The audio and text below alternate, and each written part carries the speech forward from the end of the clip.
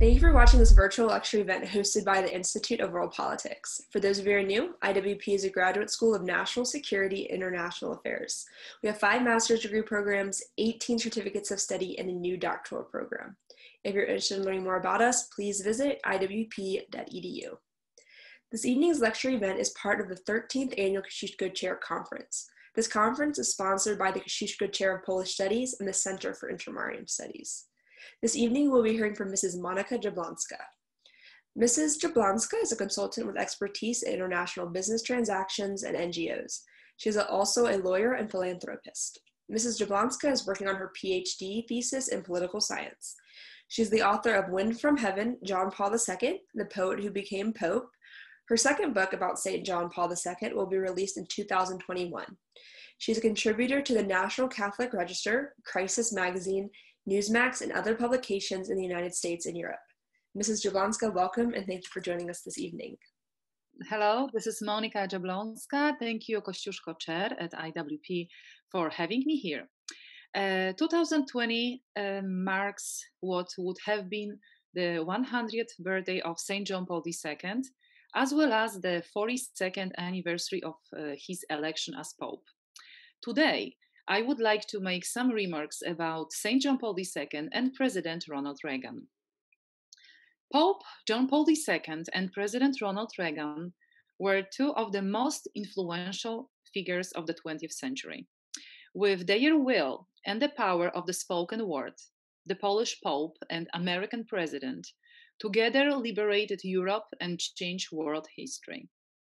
On October 16, 1978, Karol Wojtyła became the first non Italian pope to be elected in four centuries.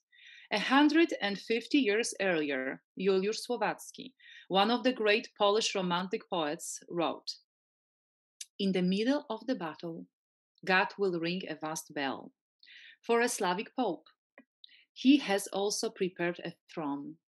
Listen, a Slavic pope will come, a brother of the people. In 1981, Ronald Wilson Reagan was sworn in as the 40th President of the United States of America. He became the head of the state at the time when the world looked for a strong leader that could fight against communism. Reagan was a perfect candidate. He brought wisdom, values, loves, confidence, help, support for his country, the world, and Poland as well. Reagan also refocused Americans' attention on God. Pope John Paul II once said, In the design of providence, there are no more coincidences. That is one way to explain why a Polish pope, dedicated above all to defending the dignity of the human person, would step onto the world stage as the most powerful country on earth was about to elect a president committed to the cause of freedom. One became the spiritual leader of the world, the other political leader of the free world. On June 7, 1982, Ronald Reagan and John Paul II met for the first time at the Vatican Library, where they talked for about an hour. As John O'Sullivan, a senior speechwriter for Margaret Thatcher, observed, it is almost certain that both men were entirely candid. Each saw the other as a natural ally, and this could have been their only opportunity to compare notes in person. What was important, and it turned out to be very important, was that Reagan has convinced the Pope that he has sincerely committed to peace and discernment, and that these commitments, these commitments, would shape his policy. The first meeting ever between John Paul II and Ronald Reagan was very important for each of them. Journalist Carl Bernstein supposes that in that meeting, Reagan and the Pope agreed to undertake a clandestine campaign to hasten the dissolution of the communist empire. Both the Pope and the President were convinced that Poland could be broken out of the Soviet orbit if the Vatican and the United States committed their resources to destabilizing the Polish communist government and keeping the outlawed solidarity movement alive after the declaration of martial law in 1981. The American politician and the Roman pontiff strongly believed that solidarity could crack the Iron Curtain and overturn communism. In The Pope and the President, historian Dr. Paul Kengor exclaims Reagan and the Pope translated their divine mission into a practical mission to maintain solidarity. It was also a meeting of men of the theater, yes.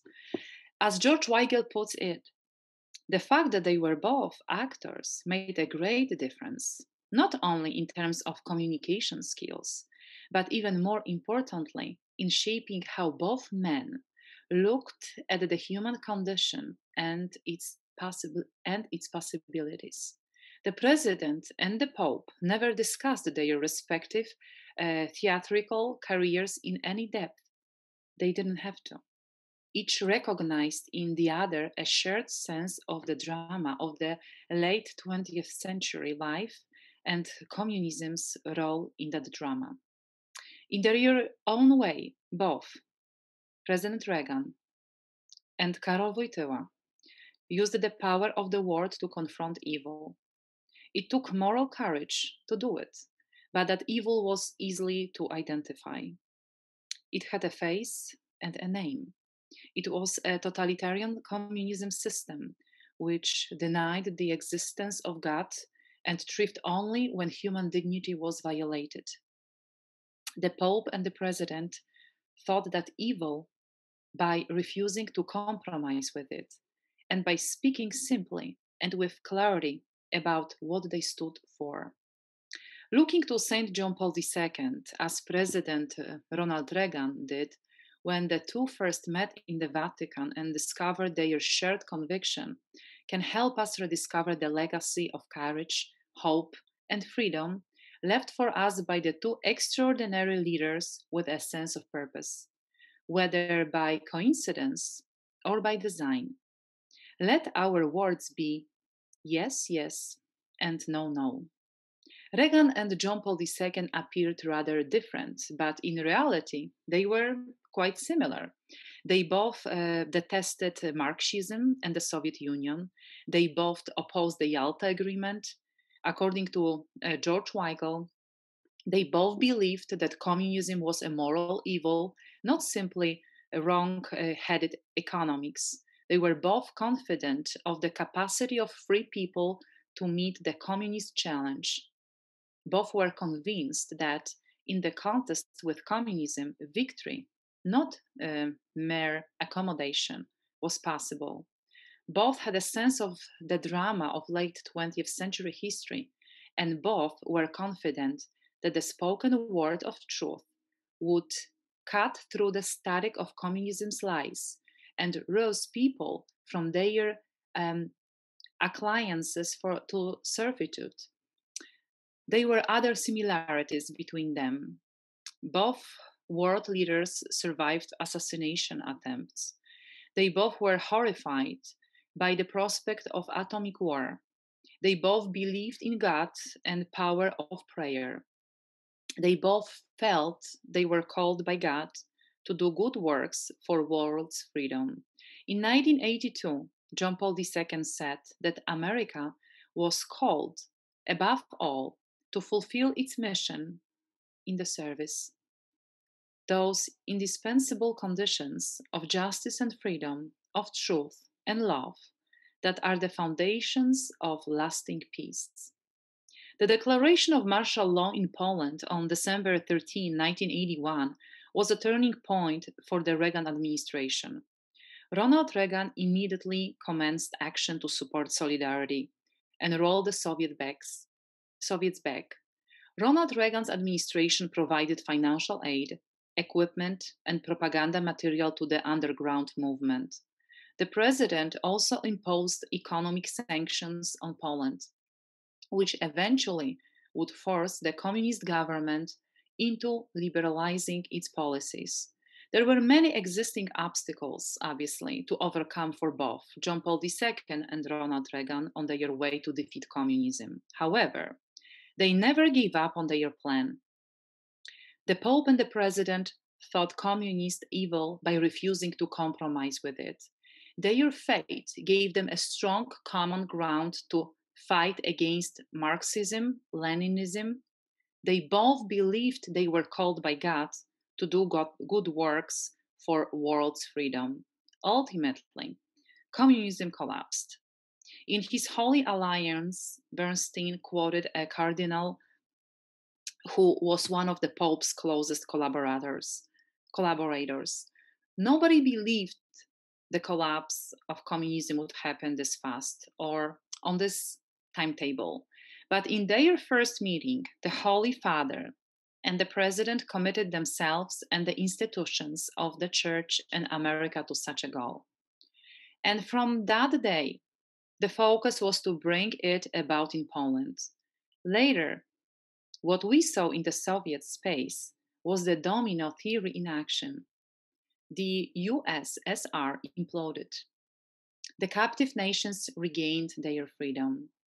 Thus, the meeting of two powerful minds brought significant change into the world. As John O'Sullivan amply summarizes, Reagan and John Paul II certainly cooperated to help free Poland and Eastern Europe from communism. But there is an explanation for this cooperation that is far more plausible than a conspiracy or deal. Both Reagan and John Paul II were firmly anti communist, and they saw the Polish and European situations in much the same way. There is no doubt that Ronald Reagan and John Paul II became chief actors behind the collapse of European communism. Once the pontiff remarked, Everybody knows the position of President Reagan as a great policy leader in world politics. My position was that of a pastor, the Bishop of Rome, of one of with uh, responsibility for the gospel which certainly contains principles of the moral and social order and those um, regarding human rights. The Holy See's posi- position, even in regard to my homeland, was guided by moral principle. Reagan and uh, John Paul II's fate had a profound effect on how they lived and what they did, and how they changed the world. Today, we look into the past and cre- clearly see that neither the Pope's soft power revolution nor Reagan's hard power challenge could have done the job by itself. Each needed the other. Together, they provided the keys to victory. The two great men are no longer with us, but our need for moral clarity and moral leadership remains. Thank you very much.